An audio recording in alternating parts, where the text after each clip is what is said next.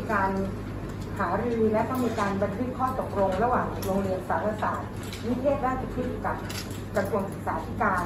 นะคะ โดยประเด็นจะมีดังนี้ค่ะ ประเด็นที่หนึ่งในกรณีที่ผู้ปกครองต้องการให้บุตรหลานเรียนต่อในโรงเรียน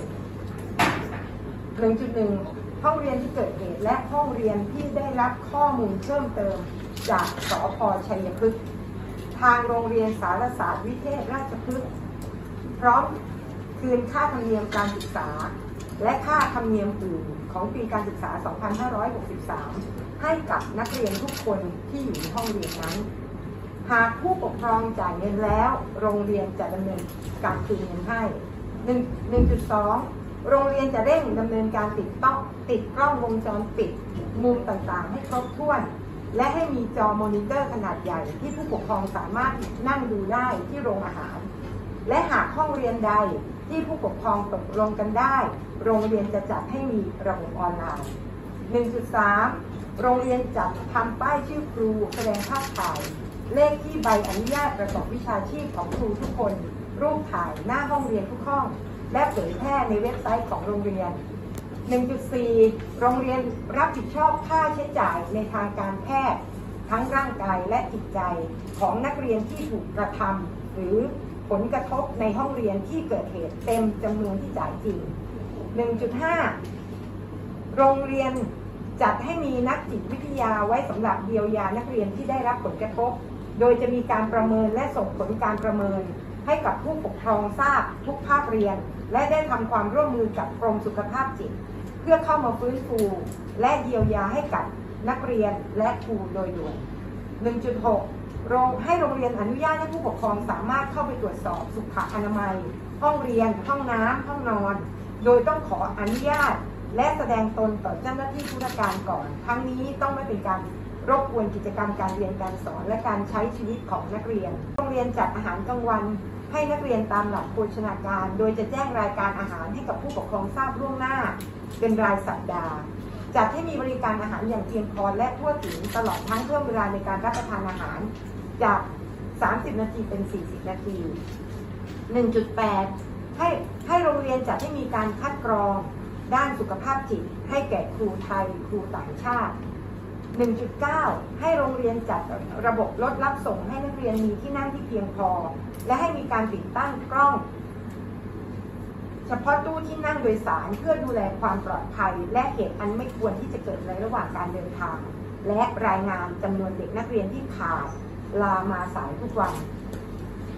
1.10 โรงเรียนจัดให้มีการประชุมผู้ปกครองทุกระดับชั้น ทุกปีการศึกษาในปีการศึกษา 2553 จะจัดให้มีการประชุมเริ่มต้นในเดือนตุลาคมนะคะมีที่ผู้ปกครองประสงค์จะย้ายบุตรเรียนบุตรหลานไปเรียนต่อในโรงเรียนอื่นนะคะ 2.1 โรงเรียนพร้อมอำนวยความสะดวก ในการจัดทำเอกสารส่งตัวให้แก่นักเรียน ที่ประสงค์จะขอย้ายให้แล้วเสร็จมอบให้กับผู้ปกครองภายในหนึ่งวัน 2.2 โรงเรียนคืนค่าธรรมเนียมการศึกษา และค่าธรรมเนียมอื่นในปีการศึกษา 2563 2.3 ค่ะ โรงเรียนรับผิดชอบค่าใช้จ่ายในทางการแพทย์ทั้งร่างกายและจิตใจของนักเรียนที่ถูกกระทำหรือผลกระทบในห้องเรียนที่เกิดเหตุเต็มจำนวนที่จ่ายจริง 2.4 ค่าชดเชย หรือค่าบำรุงขวัญ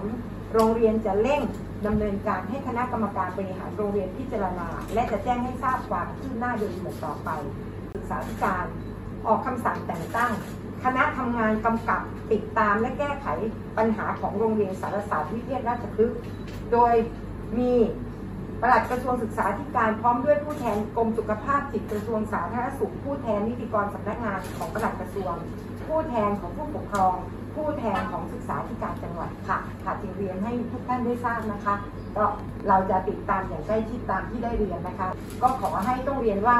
หลังจากที่รับฟังจากผู้ปกครองและในส่วนที่ผู้ปกครองได้ยื่นความประสงค์ผ่านผ่านดิฉันมาเมื่อวานทุกเรื่องนะคะ เราจะเร่งรัดติดตามกับทางโรงเรียนตามที่ได้ประกาศไว้มีการแต่งตั้งคำสั่งคณะติดตามกำกับ เราจะทำให้ดีที่สุดแล้วก็รวดเร็วให้กับ ให้กับผู้ปกครองได้สบายใจ ก็ขอเรียนขอบพระคุณสื่อมวลชนทุกแขนงนะคะ แล้วก็ขอขอบคุณต้องบอกว่าทุกความห่วงใย พ่อแม่ผู้ปกครองก็ขอให้กำลังใจ รวมทั้งผู้ปกครองทั้งประเทศและการติดตามก็ต้องเรียนในความยืนยันว่าดิฉันตั้งใจและมุ่งมั่นที่จะแก้ไขปัญหาอย่างแท้จริงก็ต้องขอกราบขอบคุณทุกท่านนะคะ ขอบคุณสวัสดีค่ะ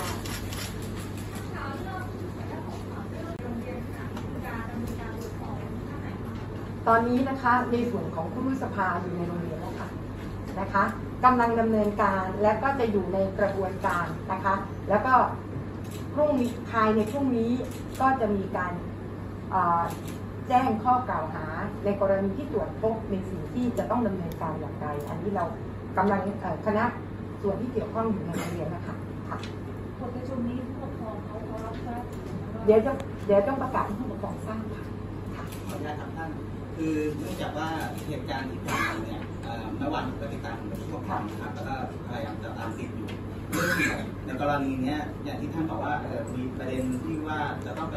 มันมันอาจจะต้องมีค่าเกี่ยวกับเรื่องเรื่องของกฎหมายด้วย ซึ่งผอเนี่ยก็ยังไม่ได้มีมาการแสดงเป็นตัวตนเป็นกิจจลักษณะ ซึ่งผมก็ไม่รู้ทุกวันนี้ลูกเรียนผมยังไม่รู้ผอคือใครประกาศให้ชัดเจนด้วยนะคะค่ะ คือตอนนี้วันนี้มีใบรับรองแพทย์มา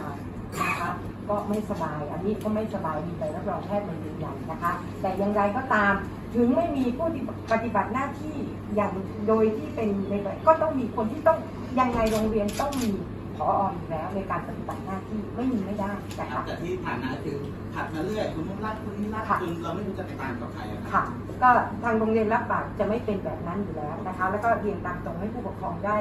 สบายใจได้เห็นความตั้งใจที่ดิฉันได้ดำเนินการก็หวังเป็นอย่างยิ่งว่า